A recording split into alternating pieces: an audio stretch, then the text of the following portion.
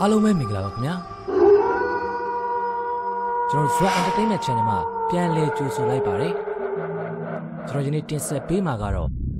စာရေးသူဝင်းသူရေးရေးသားထားတဲ့စုံမာရူအနိုးဆိုတော့ပြည့်ရမယ်ဇာတ်လမ်းလေးပဲဖြစ်ပါတယ်ခင်ဗျာဒီအစီအစဉ်လေးမစတင်ခင်လေးမှာကျွန်တော် Zwa Entertainment Channel ကို Subscribe လုပ်ပေးဖို့မေတ္တာရက်ခံတောင်းဆိုပါရစေခင်ဗျာ အတစ်အတစ်တင်သမျှကိုလည်းမလွတ်တမ်းနားတော့တာဆင်နိုင်ဖို့ subscribe ဘေးမှာရှိသောခေါင်းလောင်းလေးကိုလည်းနှိပ်ပေးတော့ပါအောင်လို့ထပ်မံတောင်းဆိုပါရစေဆိုမာရူအညို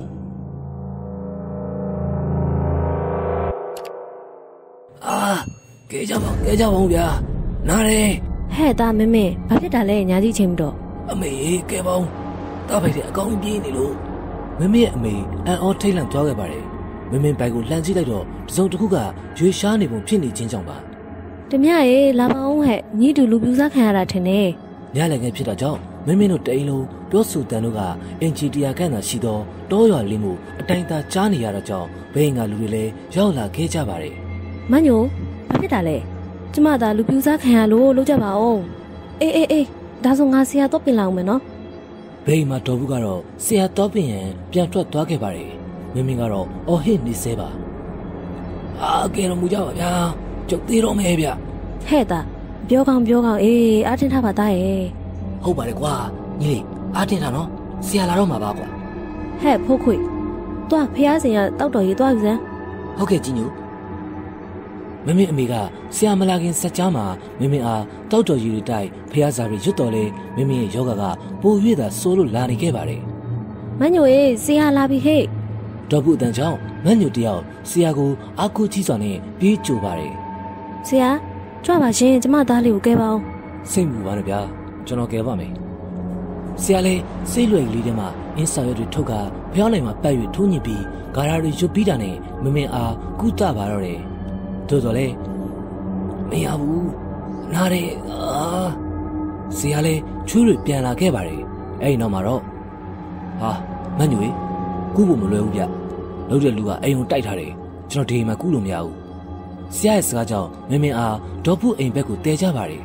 ဒေါ်ပူရောက်တဲ့နဲ့မင်းမင်းအားစာမတွေတိုက်ချွေးလိုက်ရာမင်းမင်းပါစက်ထဲမှာသပင်ချီတွေနဲ့ကျွတ်တေတကောင်အားအန်ချလိုက်ပါတော့တယ်။ဟာဟင်ရစ်စက်လိုက်တော့ကွာ။အားလုံးရဲ့အန်အောချင်းတွေနဲ့အတူဒေါသဖြစ်သူများလည်းတယောက်တစ်ခုပြောနေကြပါတယ်။ကဲပါအခုလူနာတက်တာပြီဆိုတော့ဆရာပြန်တော့မယ်။မနေ့ကမှအိမ်ကအတိုက်တွေလာရှင်းပေးမယ် ကျေးဇူးပါဆရာရဲ့။ဆရာပြန်သွားတာနဲ့မင်းမင်းအားမိကုန်းတွေထုတ်ကြပါတယ်။ဟဲ့သားဘလို့ဖြစ်တာလဲမင်းမင်းပြောပြချင်တော့လေပြော၍မရနှုတ်မှထွက်လို့မရတာကြောင့်ခေါင်းငုံ၍သာနေရပါတော့တယ်မေးမနေပါနဲ့တော့နတ်ဖန်ကြမှာဖုန်းကြောင်သွားပြီးဖုန်းရုပ်အကူညီတောင်းပေါ့အေးပါတော့ဘူးရဲ့မင်းမင်းအမေလည်းလက်လျှော့ပြီးအိမ်ကိုပြန်သွားခဲ့ပါတယ်မင်းမင်းကတော့ဒေါ်ဖူအိမ်မှာသာလဲနေလိုက်ပါတယ်ဒါပေမဲ့တိတ်မကြခင်မှာပဲဟဲ့ နင်ကိုအသေးသားမှာငါသမီးကိုအဆက်ခွဲတဲ့ကောင်မင်းမင်းဒူးရီတုံနေပြီးအလွန်ကြောက်နေခဲ့ပါတယ်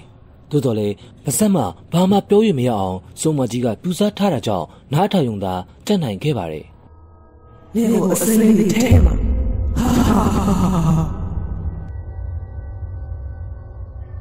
စုံမကြီးရဲ့အတန်ပြောက်ကွယ်သွားတာနဲ့မင်းမင်းရဲ့ကိုယ်ခန္ဓာတစ်ခုလုံးတုံထွက်သွားကထထိုင်လိုက်ပြီးတွေ့သည်များအိုးခွက်ပကံတို့ကိုထိုးခွဲပါတော့တယ်မင်းမင်းအသေးစိတ်ရှိပြီမဲ့လေဘာကူမှထိမ့်ချုပ်၍မရဘဲမြင်မြင်သည်များတို့ကိုထိုးခွဲမိနေပါတယ်လာကြပါအောင်မမေတောင်းညနေလို့ဒေါ်ပူရဲ့အော်တန်ကြောင့်မင်းမင်းရဲ့အမိဖြစ်တဲ့ရွာထဲမှာလူငယ်များရောက်လာပြီးမင်းမင်းကိုဝိုင်းချုပ်ထားကြပါတယ်ဖုန်းကြောင်သွားအောင်မညိုရေးရှင်သားအပူခံနေရတယ် အေးအေးတေချာချုပ်ပြီးတဲခဲ့ကြဟဲ့ရွာလူကြီးတွေပါရောက်လာပြီးမင်းမင်းအားဖုန်းကြီးကျောင်းသို့တဲခဲ့ကြပါတယ်ဘုန်းကြီးကျောင်းအဝင်ရောက်တာနဲ့မင်းမင်းကသူ့ကိုချုပ်ထားတဲ့လူငါးယောက်ကိုစတင်ရိုက်ပုတ်ပါတော့တယ်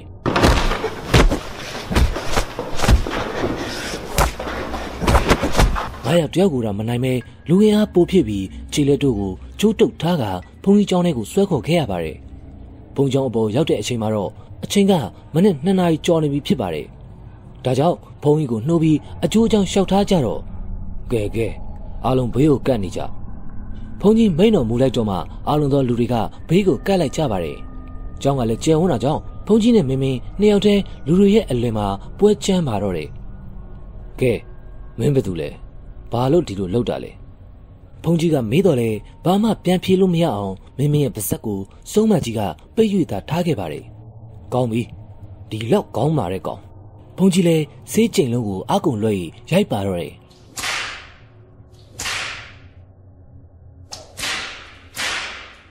မမေရဲ့ကြောပြင်တစ်ခုလုံးငရဲမီးများလောင်တကဲ့သို့ခန်းစားနေရပါတယ်မမေရဲ့အမေဒီလည်းနေရည်များချောင်းစီးနေတကဲ့သို့ငိုနေရှာပါတော့တယ်ကြောက်ပြီလားဟဲ့ကောင်မမေပြောလို့မရသို့တော်လည်းမမေရဲ့လက်တို့ကတစုံတစ်ခုကိုပြောပြနေသလိုပါကဲတကားတို့ဂျိုးဖြီပေးလိုက်စမ်း တင်းမဖေရွာထဲမှာလူငယ်နှစ်ယောက်ကမင်းမင်းကိုခြိထားတဲ့ကြိုးတွေကိုဖြေပေးလိုက်တာနဲ့တပြိုင်နက်မင်းမင်းကဖုန်းကြီးကိုလက်သီးနဲ့ပြေးထိုးပါတယ်။သို့တော်လည်းမင်းမင်းရဲ့လက်သီးကဆရာတော်ဘုရားကြီးထံသို့မရောက်ခဲ့လိုက်ပါဘူး။ကပ္ပယကြီးကတိုက်ပညာတော်သူတယောက်မို့ဂျာမဝင်ချုံလိုက်ခြင်းကြောင့်ပါ။မိုက်လိုက်တဲ့ကောင်။ကွဲဟာမှတ်ပါလား။ထိုအချိန်မှမင်းမရဲ့တကူလုံးငိန်ချသွားပြီးလက်ဟန်ချီရန်နဲ့အရက်တောက်ချင်တဲ့ပုံလှုပ်ပြပါတယ်။ အာဒါကြောင့်ကွာအိမ်မဟုတ်ဘူးမင်းတောက်ချင်ရင်အိမ်ကိုလိုက်သွားမင်းကိုအရက်တိုက်လိမ့်မယ်ကဲအခုထွက်တော့ဘုန်းကြီးမိတ်လိုက်တာနဲ့မင်းမင်းပြော့ခွေကျသွားခဲ့ပါတယ်ဘေးရီရီတိုက်လိပ်ပြကျိုးတွေစွတ်ပေးလိုက်တဲ့အခါမင်းမင်းလက်တို့ပြန်လဲထိမ့်ချုပ်ရရလာခဲ့ပါတယ်ကဲတကားဘယ်လိုဖြစ်တာလဲသိလားသိသိပါတယ်ဖေ။ဒါပေမဲ့ထိမ့်ချုပ်လို့မရဖြစ်နေတာပါအေးကောင်းပြီဒါဟာအစိမ့်တီကိုအတုံးချပြီးမင်းအထက်ခံလိုက်ရတာပဲ တင်မဖေ။အိမ်ရောက်ရင်အရက်တလုံးဝယ်ပြီးအစိမ့်တီကိုတိုက်လိုက်ပါမိုးလေးမှရွာရှိပိုင်းကပရာလောကဆရာစီတွားပြီးအကျိုးအကြောင်းပြောပြဈေးကုခံလိုက်ပါဘုန်းကြီးကတော့ဒီလောက်ပဲကူညီနိုင်တယ်တင်မဖေ။တပည့်တော်တို့ကိုပြန်ခွင့်ပြုပါအောင်ဖေ။မင်းမင်းနဲ့ရွာသူရွာသားများကဆရာတော်အားရှ िख ိုးဥချပြီးကိုယ့်အိမ်ကိုပြန်ကြပါတယ်မင်းမင်းလည်းအိမ်ရောက်တာနဲ့အသင့်ဝယ်လာသောအရက်ပလင်းကိုထုတ်ကာအိမ်ရှိတွင်ပါဆက်မှတီးတိုးလေတဲ့နဲ့ လာခဲ့ပါမင်းတောက်ချင်တဲ့အရက်ကိုငါတိုက်ပါတယ်ငါ့ကိုမနှောက်ရှက်ပါနဲ့တော့ပြောရင်းနဲ့မင်းမင်းအရက်ပလင်းကိုတွန်းချလိုက်တော့မင်းမင်းဘွားရဲ့အန်ဟောဆရာကောင်းဆုံးအချိန်ကိုရောက်ရှိခဲ့ပါတယ်မင်းမင်းတွန်းချလိုက်တဲ့အရက်တို့ကမြေကြီးပေါ်ထိမရောက်လိုက်ပဲလေထဲမှာတွင်ပျောက်ကွယ်သွားခဲ့ပါတယ်အရက်ပလင်းကုံသွားတာနဲ့မင်းမင်းလည်းပြန်မောင်းထုတ်ပြီးအိမ်ထဲပြန်ဝင်လာခဲ့ပါတယ် အချိန်ကမနက်3နာရီကျော်နေပြီဖြစ်တာကြောင့်မင်းမင်းလည်းအလွန်အားနည်းနေသဖြင့်လဲလိုက်ယုံနဲ့အိပ်ပျော်သွားခဲ့ပါတော့တယ်ဟဲ့တာမမေထတော့ထတော့မင်းမင်းရဲ့အမေနှိုးလိုက်တာကြောင့်မင်းမင်းအိတ်ရှင်စိတ်ကိုတွန်းလိုက်ရင်ကုန်းထားလိုက်ပါတယ်ညညမျက်နာတဲ့ဆရာကြီးစီသွားအောင်မယ်မင်းမင်းရဲ့ကောင်းတဲ့ညအကြောင်းပြန်ဝင်လာတာကြောင့်ကြပြကြရမျက်နှာတစ်ပြီးသွားတော့မတိုက်တော့ပဲရွှင်ကျော်ဆရာကြီးရဲ့အိမ်ကိုမင်းမင်းတို့တားမိခြေကုံတုတ်ကြပါတော့တယ် ဆရာကြီးအိမ်ကိုရောက်တာနဲ့မင်းမင်းတို့တားမိနှစ်ယောက်ဆရာကြီးကိုကြော့ကအကျိုးအကြောင်းရှောက်ထားကြပါတယ်။အော်ဒီလိုကိုကောင်းပြီမင်းမင်းတားကိုအဘပယောကစစ်မယ်အစစ်ခံမလားဟုတ်ကဲ့ခံပါမယ်အဘအေးကောင်းပြီမင်းရဲ့အသက်နဲ့ခံတာဆရာကိုအပ်ပါရွှင်ကျော်ဆရာကြီးကလည်းဘွဲရီထိုးတစ္ဆာယူတွေတိုက်ပြီးတာနဲ့မင်းမင်းအားပြူစားထားသောစုံးကဝေနန္နာဘဝအစရှိသောပယောဂတို့ကိုစင့်ခေါ်က မင်းမင်းရဲ့ကိုရင်ဝင်စီခဲ့ပါတယ်ဆရာခေါ်လိုက်တာနဲ့မင်းမင်းတကောလုံးတုံသွားကမိမအတန်ဖြင့်စကားစတင်ပြောလာပါတော့တယ်ကျမရောက်ပြီအေးနင်းကဘာလို့သူ့ကိုအခုလိုလုပ်ရတာလဲဆရာကခက်ပြက်ပြက်လေးတန်းနဲ့မေးလိုက်တော့စုံမကြီးလဲကျမမလုပ်ချင်ပါဘူးဆရာရဲ့ကျမဘာသာတိမ်ညွန့်ကိုခူးစားနေတဲ့သူပါ တိမ်ညွန့်စားတဲ့အဆင့်ဟာကိုဝေမဖြစ်နေပြီမို့ဆရာကလည်းစကားပြောစင်ကြင်ရန်တွေးလိုက်ပြီးလင်းမလုပ်ချင်ပဲဘာလို့လုပ်ရတာလဲကွယ်ကျမသမီးကခိုင်းလို့ပါကောင်းပြီအဲ့ဒါဆိုရင်လင်းလုပ်တဲ့ပညာတွေအကုန်ထုတ်သွားဟုတ်ကဲ့ပါဒါပေမဲ့ကျမကအပြင်းမဲ့ထဲတာကျမသမီးကအစိမ့်တွေနဲ့ရောအိမ်ကိုတိုက်ထားတာအခုလည်းမင်းမင်းကိုစားကြလို့မရအောင်လုပ်ထားသေးတယ်အေး ဒါဆိုနေလောက်ထားတာတွေကျဲသမျှအကုန်ပြန်နှုတ်လိုက်ပြီးနောက်မလို့ဖို့တစ္ဆာဆိုပြီးထွက်နိုင်ပြီဆရာကြီးရဲ့မေတ္တာတရားကြီးမားစွာပြောနေပုံကိုမကြည်နဲ့သူကတော့မင်းမင်းရဲ့အမေပါ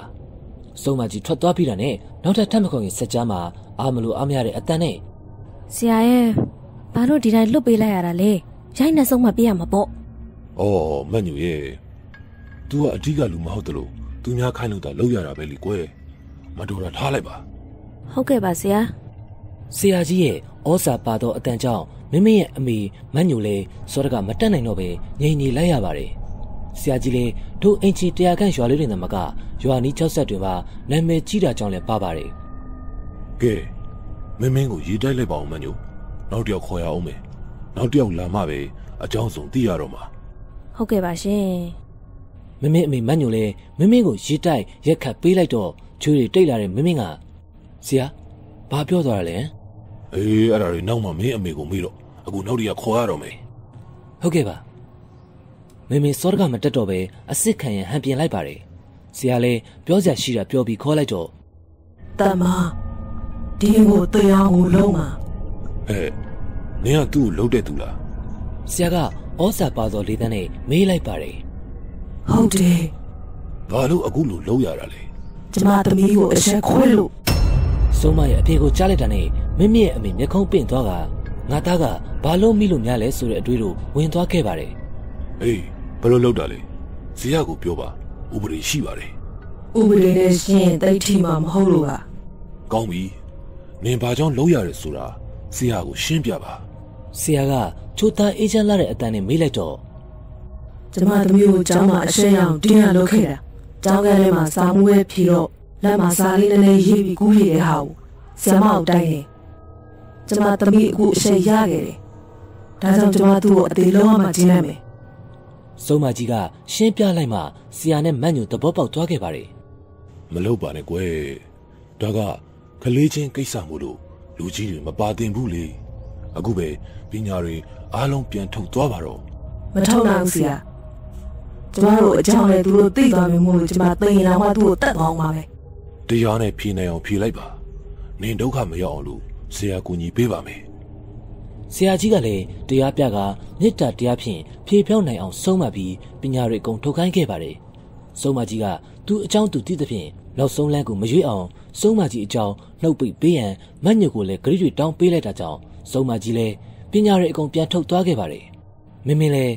ဆုံးမကြီးအကြောင်းကိုမတ်ညိုထမ်းမှသိရှိရတာကြောင့် အတန်းပေါ်မိန်းကလေးနဲ့အဝေးမှာရှောင်းနေလိုက်ပြီးထိုအတန်းပေါ်မိန်းကလေးရဲ့လက်ဖက်တုပ်ကြောင့်ခန်းစားခဲ့ရသောဝေဒနာတို့ကိုတွေးကာတခြားသောသူတို့ပြူစားခံရရင်ကဲတင်နိုင်အောင်အတွက်မေတ္တာတရားကြီးမားသောအသက်သခင်ရွှေရင်ကျော်ဆရာကြီးထံမှတပည့်ခံယူခဲ့လိုက်ပါတော့တယ်။ထိုအကြောင်းအရာများကိုပြောပြသူကတော့အခုအချိန်မှာရွှေရင်ကျော်ကိုးစင်ဆရာတဦးဖြစ်နေပြီးမလေးရှားမှာရောက်နေပါတယ်။ဒုကိစ္စကိုပြောပြတာကလည်းစုံသားမိတည်ဆုံသွားပြီဖြစ်လို့ဂရိပြက်ပြက်ပြီးဖြစ်သောကြောင့်ပြောပြခဲ့ခြင်းဖြစ်ပါတယ်။ အမိများကိုလွှဲပြောင်းပြောဆိုရတာကတော့မမရဲ့ကျောင်းနေပဲတငယ်ချင်းများတက်ရှိထင်ရှားရှိနေသေးတာကြောင့်ထိန်ချန်ထားခဲ့ရခြင်းသာဖြစ်ပါတော့တယ်ခင်ဗျာ